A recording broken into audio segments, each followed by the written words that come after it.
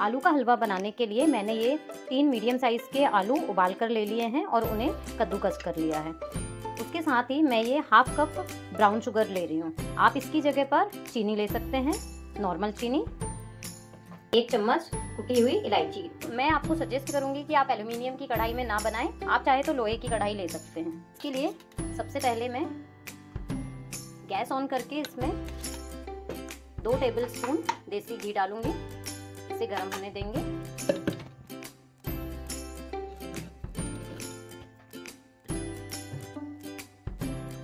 Gas को हमें medium flame पर ही रखना है और ये जो आलू हमने कद्दूकस करके रखा था, हम इसे डाल देंगे। अगर आपको जो चिप्स वाले आलू होते हैं, वो अगर मिल जाए तो बहुत ही अच्छा है। उनसे हलवा बहुत अच्छा बनता है खिला खिला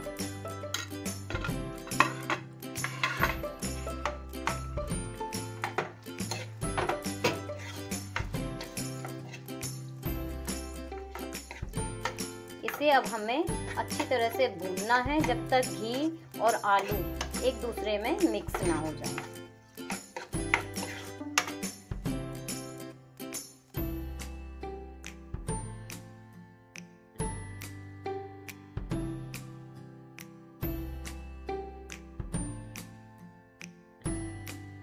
देखिए, अब ये घी और आलू अच्छी तरह से मिक्स हो गया है। अब हमें इसे अच्छी तरह से भूनना है।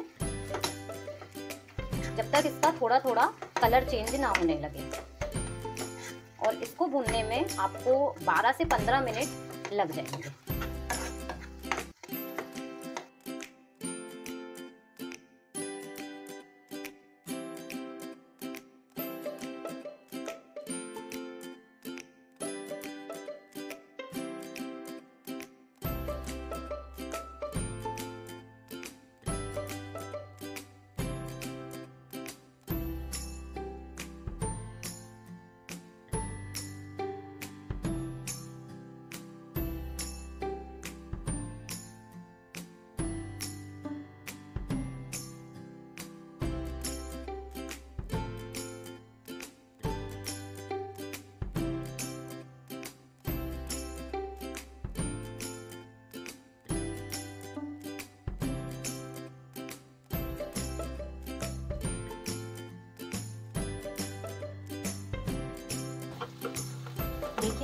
थोड़ा सा ये कलर आलू का चेंज हो गया है। अब इस स्टेज पर हम ये ब्राउन शुगर डाल देंगे।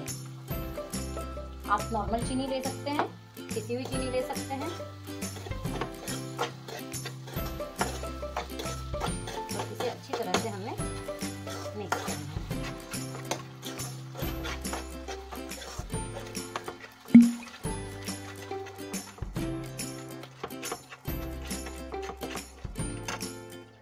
के साथ हम इसमें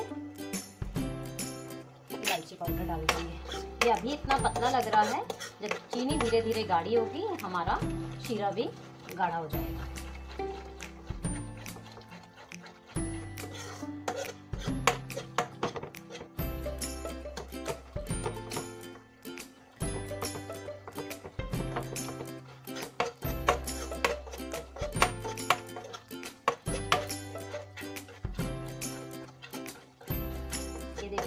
गाढ़ा होने लगा है। अब हमें इसे घी छोड़ने तक पकाना है, धीमी आँच पर।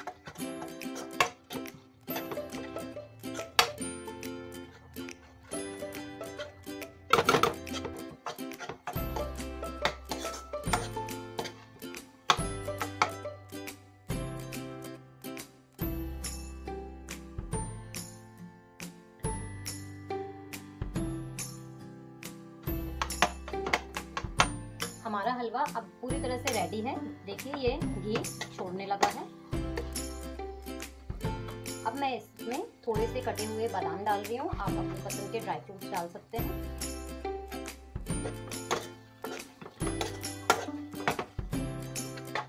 अब आप इसे बनाइए और अपनी फीडबैक शालिनी कुकिंग बक किचन में देना मत भूलिए।